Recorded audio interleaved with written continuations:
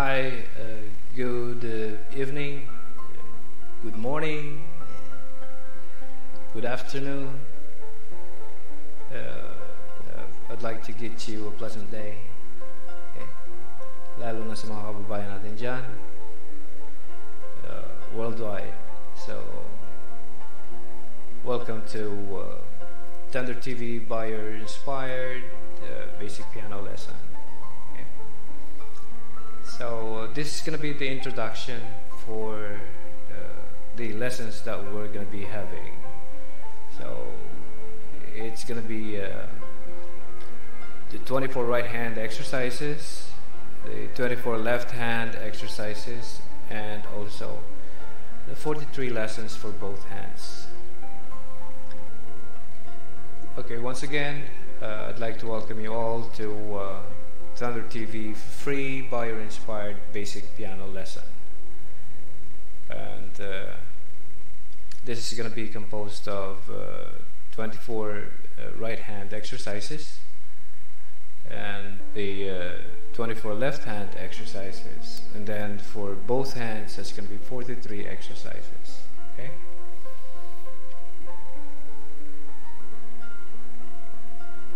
So this basic piano lesson is intended for all ages as long as you are willing to learn.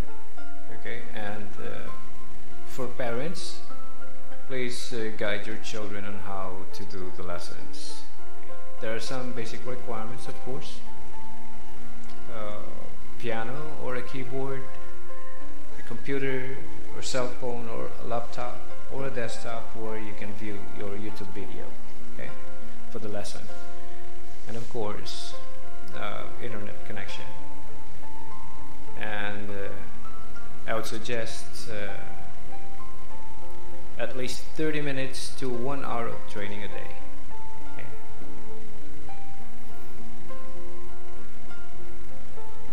So uh, what will you basically get from the free basic piano lessons?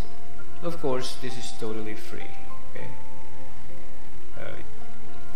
this lesson, of course, is at your own pace. Uh, you'll get to know and learn the uh, 24 left and right hand exercises and the four, 43 exercises for both hands. Of course, you'll also learn musical terms, read and write musical notes, and later on learn to play your favorite songs.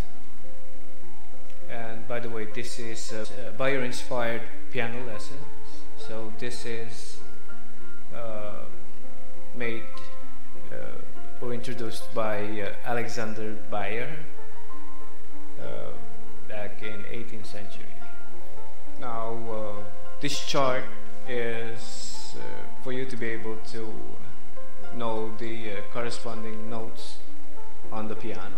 So uh, you could be able to always go back to this uh, page and see uh, if you'd like to know where uh, the uh, location of the notes. Say, for example, you don't know the G on the lower lower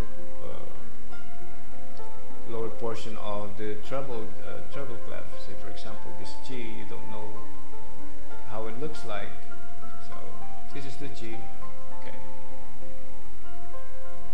it's a space uh, space note. It's on the space, and this is a line note. The next one, the A, is a line note. Okay, so we're not going to be uh, focusing more on this. So let's go on to the next slide. So let's go back to how to read the notes. Okay, how to read the chart. Uh, okay, for the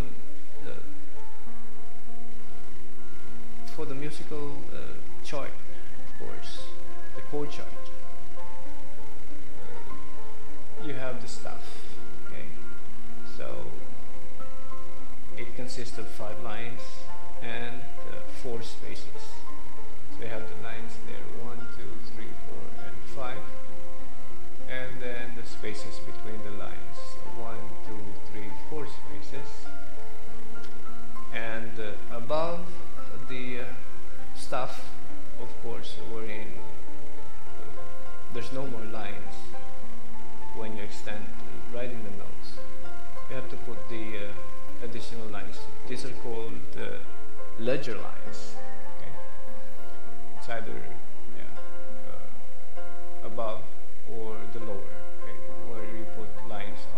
that you need to uh, add. Say, for example, like this. Okay, so you make shift, and those are the ledger lines that you put in there.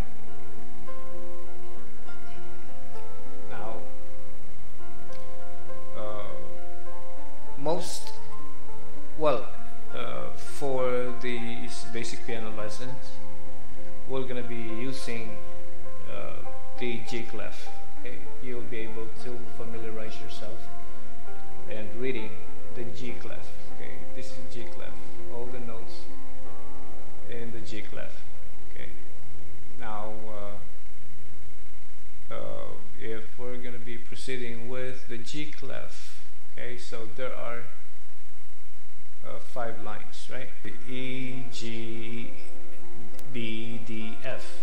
So that's the acronym for every good boy does fine or every good boy deserves fries. Uh, you can do both. Okay, so just to uh, be able to learn uh, the uh, basic keys on the uh, uh, line notes. Okay, so that's gonna be E, G, B, D,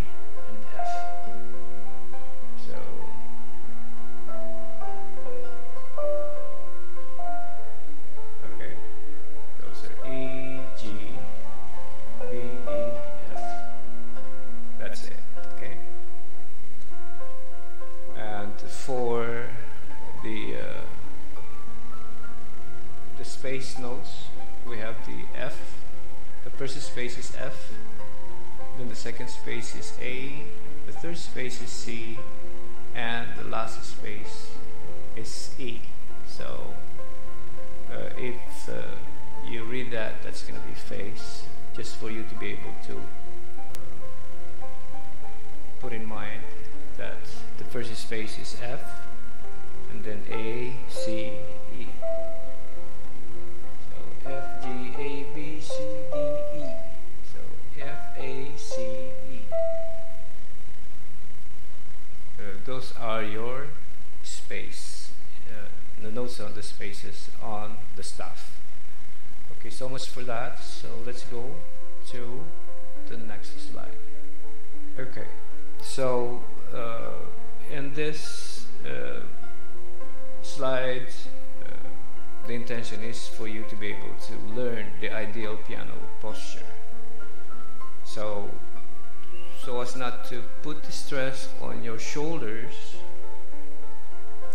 uh, the ideal is to sit straight, okay?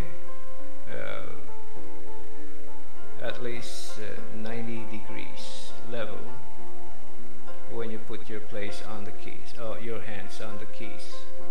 At least 90 degrees, okay? That's the ideal. And then proper placing of the hands, of course, uh, this is how you place the hands on top of the key keyboard, okay? Uh, like this. Now,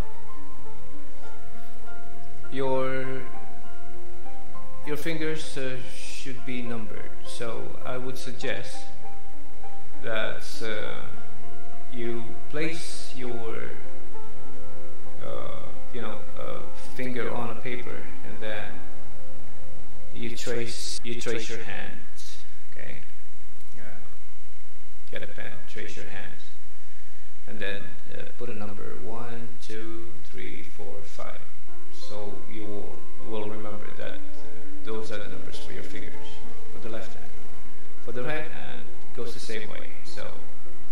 Piece of paper, put it on the piece of paper, and then you trace it. Okay, trace your hands,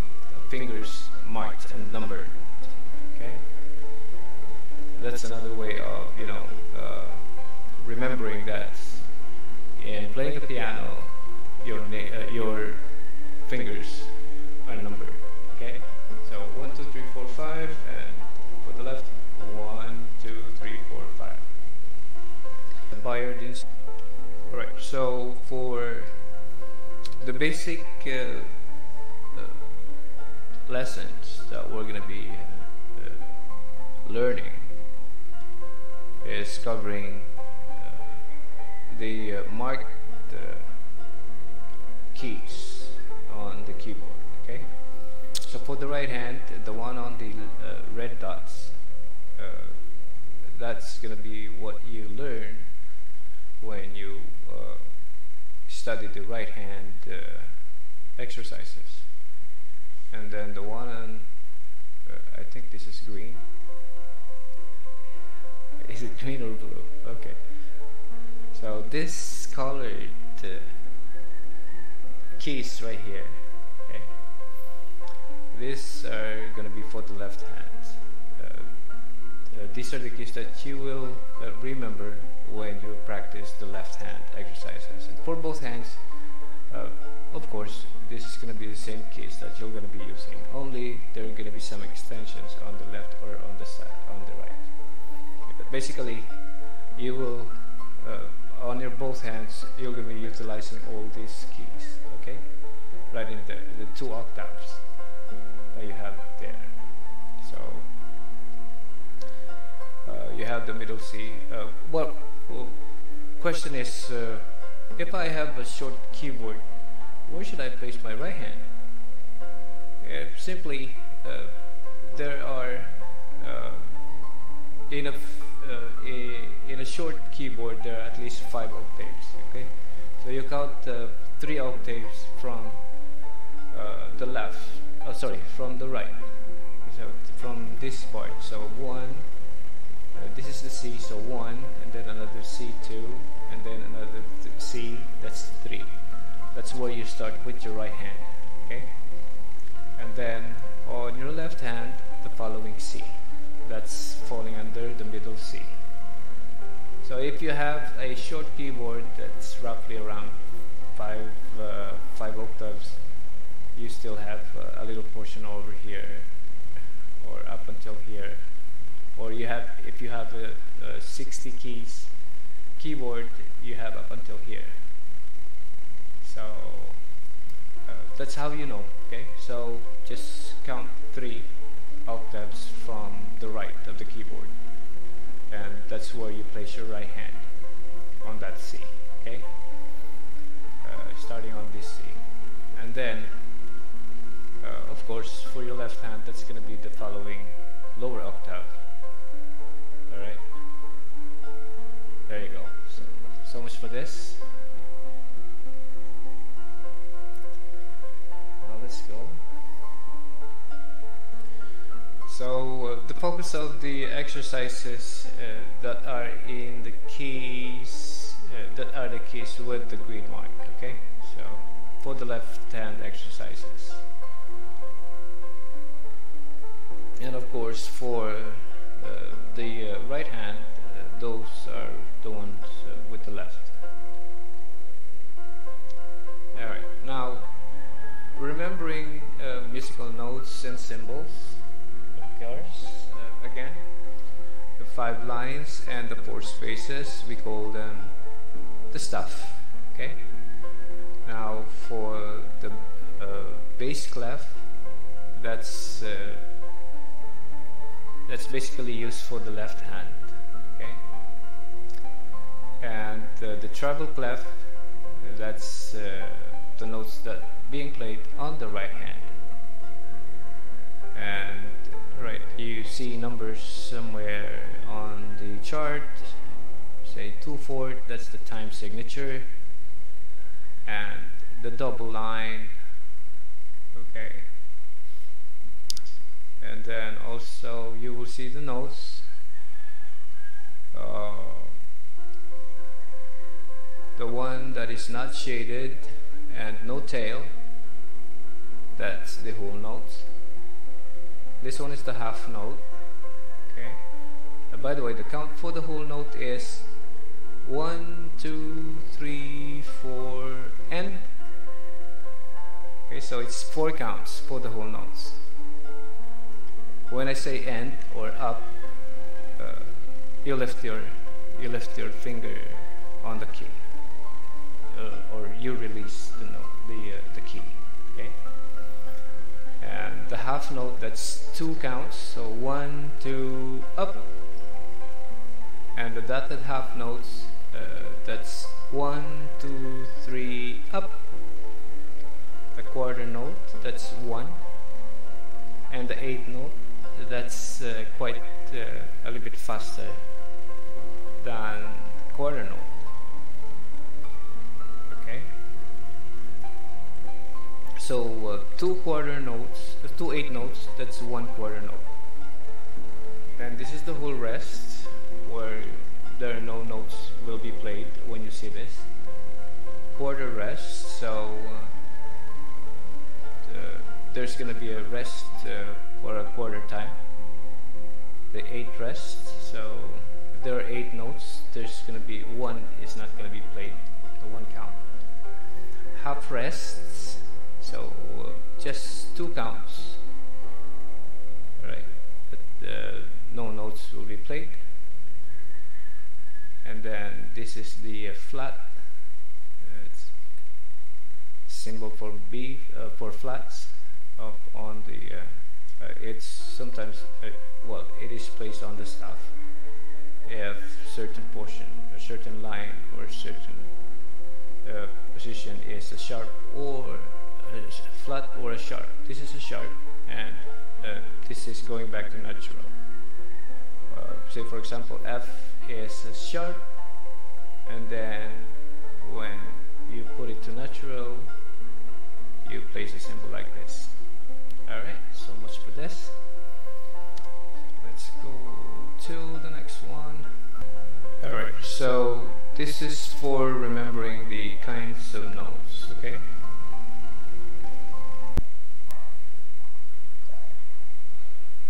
Alright, so uh, let's go to remembering the kinds of notes,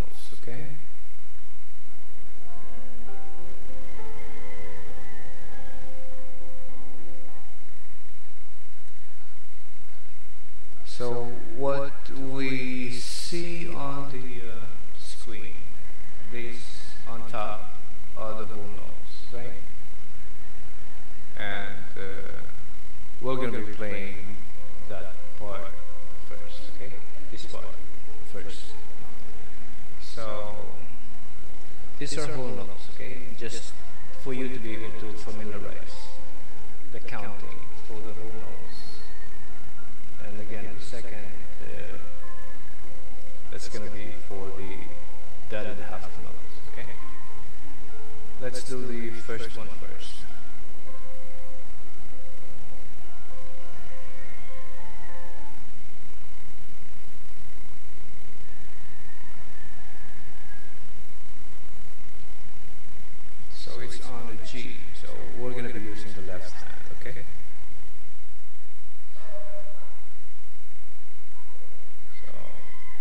So one, two, three, four. One, two,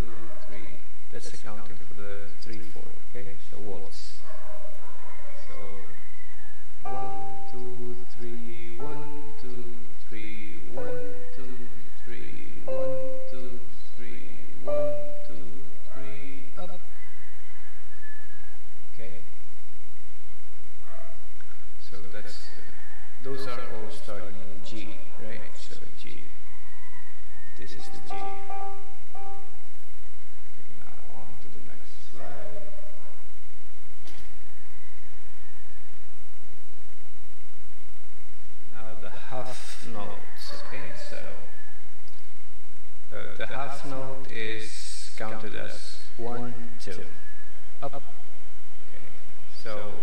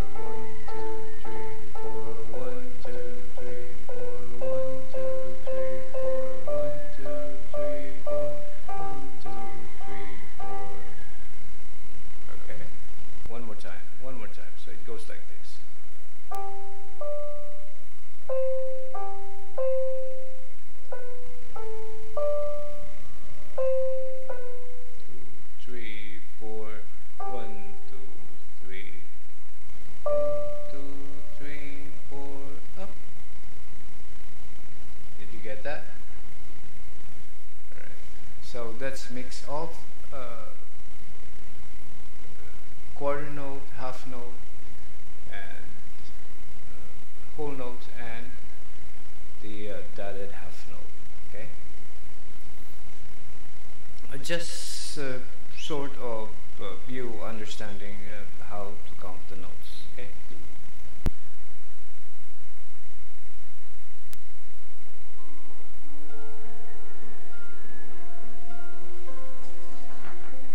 All right.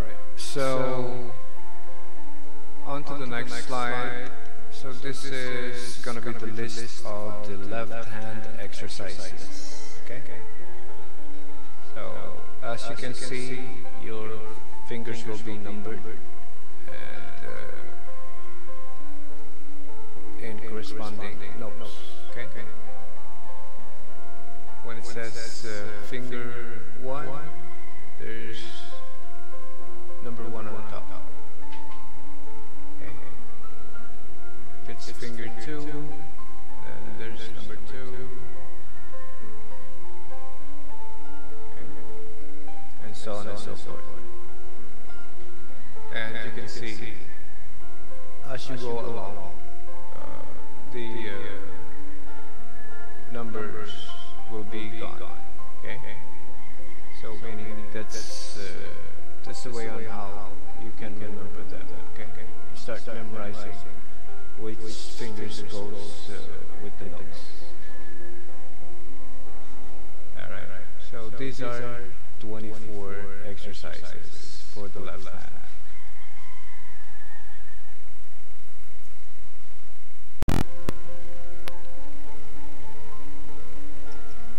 All right, and on this uh, list, this is going to be the these are 24 uh, uh, hand exercises well for the right hand. So same goes, same with the left hand. So uh, these are numbered. Okay. So for you to be able to remember them and uh, uh, which finger plays which notes. Okay. So these are 24 exercises as well. For the basics.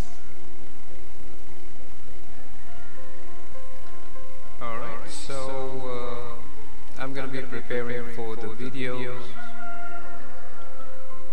of uh, the practices. So yeah, I would like to say thank you for watching the video, and uh, please wait for the videos that I'm to be releasing for the uh, continuation of the uh, uh, piano lessons. Okay, okay? Thank you for watching.